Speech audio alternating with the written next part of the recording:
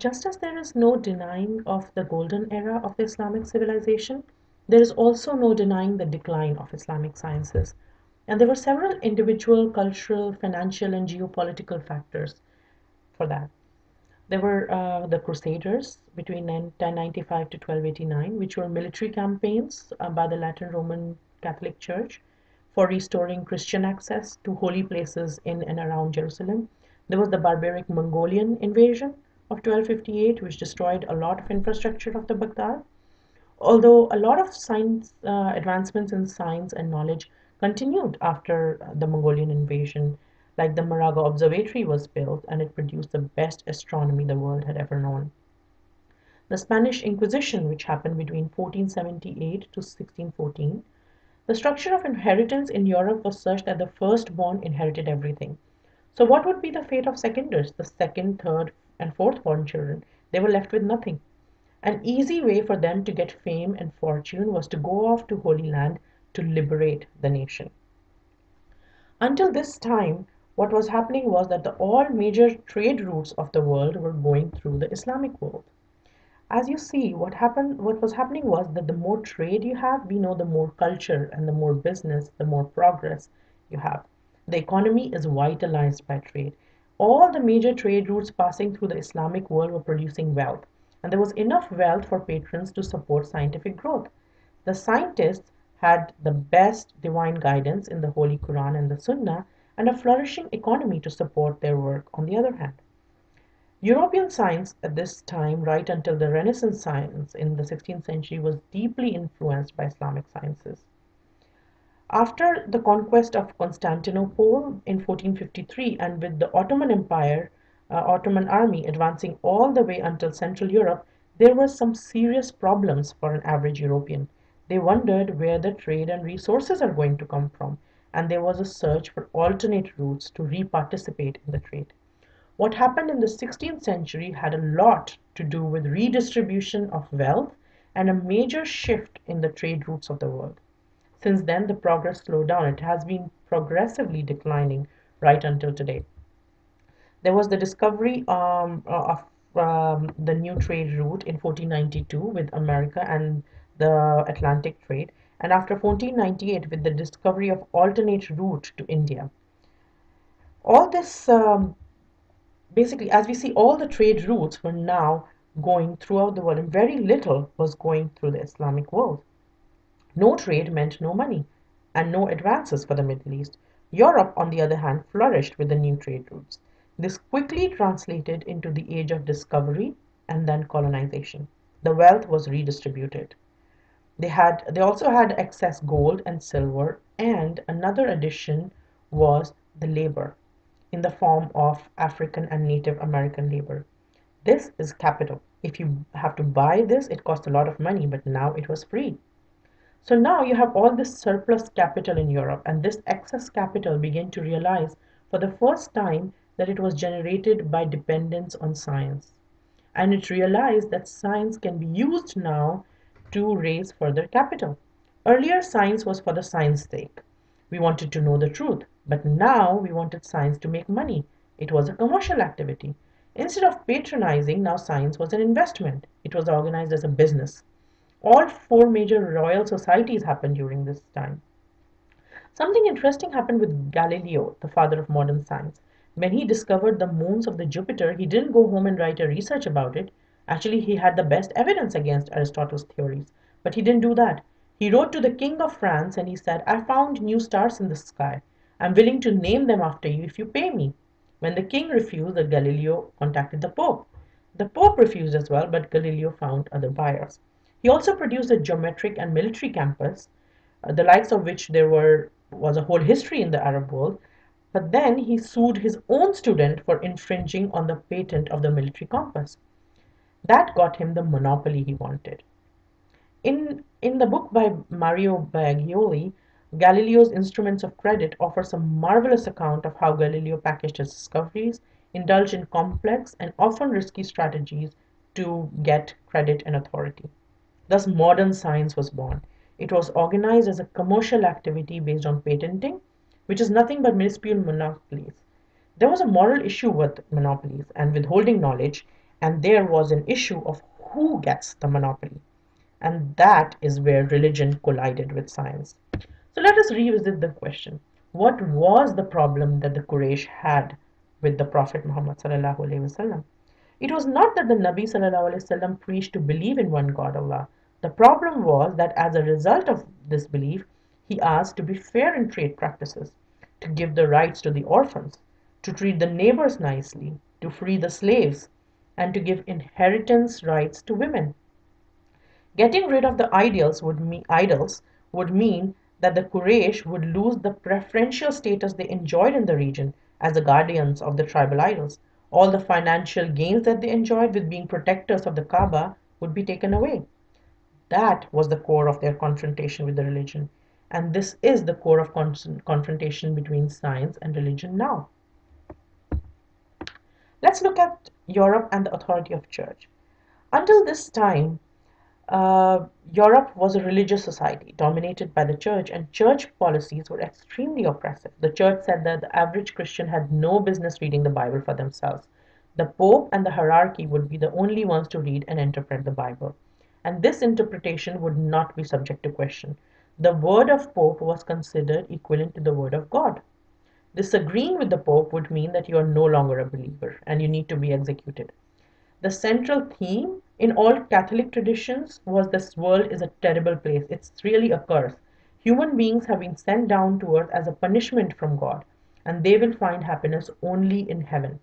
So the fact that human beings were miserable in Europe was actually expected. And Europe was being uh, oppressed in this doctrine for a long time. What happened in mid 1800s was the revolution, which was fueled by the promises of the modern science. Two movements sprouted as a revolt against the church almost at the same time, and it was the bloodiest revolution in the world history. One was the Protestant Reformation, which said that everyone must be able to read the Bible for themselves.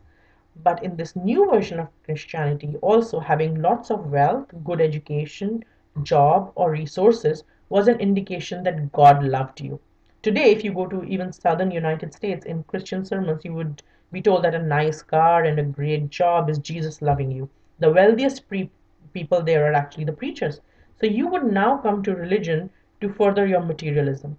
Modern Christianity became a way to justify materialism and to even further materialism. The second movement, and a more powerful one, said that the church has been teaching the doctrine that does not make any scientific sense. These people burn the books of philosophy, science, and anything that disagrees with the church. They consider scientific inquiry as equivalent to disbelief. The essence of French Revolution was a revolt to bring about science, logic, and philosophy. And what happened after the revolution? Europe was now a free-thinking society, free to rediscover what they should believe in and what thoughts and ideas should be at the center of the society. It was like an open marketplace of ideas. So a lot of mm, science and philosophies came out. And what they said was, look at what the church has been doing has done through emphasizing God, soul, and afterlife. This life is horrible. So the emphasis moved from God to universe. We should not, they said we should not have focused our energies, thought, and intellect on God. So we are not going to think about God. What is the next biggest thing? It is the universe. And the little that we've tried to understand the universe, it has brought about a lot of benefits. It has served us well. We've got discovery, inventions, utilities. The emphasis also shifted from soul to body. What is the soul? Has anyone seen it? What about all the diseases that are there in the world? There is so much to discover. Also, the church, the emphasis shifted from the afterlife to this life. The churches taught that the life might be horrible here, but it will be good in afterlife. Europeans said we are tired of this. We need to emphasize the life of this world. Let us explore political science, sociology, public relations, psychology, um, and all other sciences and we'll have a visible impact in Europe. There was trade, there was roads, there was invention, there was architecture. What happened with the colonization of the whole world was as the love of life increased, so did the colonization of the world by Europe. And European colonization spread this thought very quickly throughout the world. It went deep into our education system. This new thought that uh, took over the world, it didn't say you don't have to believe in God. It said that you could believe in it if you want to. That's your right. It's fine. Just keep it yourself because it doesn't really matter whether you believe it or not. as science is real. Whether you believe in God or not, medicine is real. Whether you believe in a soul and heaven or not, politics and economics are real. So let us worry about the real world. Islamic scholars, on the other hand, got caught up in taqlid. Many scholars felt that the Islamic theology was well defined by previous scholars and all we need to do is follow them. In some cases, people even became averse to thinking because if you think too much, you might arrive at a different conclusion which might be deemed unorthodox. According to Muhammad Abduh and Jamal al-Din al-Afghani, which were Islamic uh, ideologists and reformers of the late 18th and 19th uh, century, taqlid or blind imitation is what destroys the destroyed the Muslims. Many Muslims became just like tape recorders. They memorized a lot of information and reproduced it in various forms. However, that is not an alim or a learned person according to Islam. Islam teaches that knowledge should be based on the highest form of knowledge, that is Quran and the Sunnah, but it is a living, dynamic thing. It must be constantly dealing with creative tensions that arise from intellectual confrontation.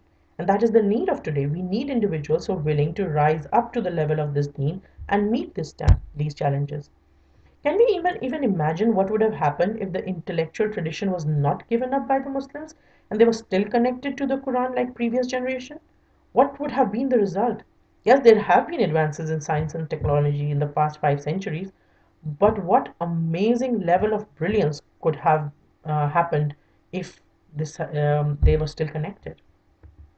Let's look at the current implications of this thought. Most of us born in 1900s have received modern education. And whether we believe or disbelieve in the world, the afterlife, the soul, God, uh, for all practical purposes, our attitudes are no different from what the European Revolution intended. For most of the world today, religion plays a very small role in people's lives. The highest learners, who used to be the people of the spiritual leaders like the imams, the religious scholars, the priests, and the fathers, were now replaced with the PhDs in science or medicine. Religion doesn't dictate how we are going to live our life. It isn't something we take inspiration from to decide where we are going to live or how we are going to raise our children. We already have our priorities laid out in a way that was laid down for us by the colonizing nations. We have taken that deep into ourselves. Spirituality, for example, has been replaced by psychology. So depression which was um, is now just studied as chemical imbalances in the body. And all you need to do is take pills and more pills, and you'll be fine.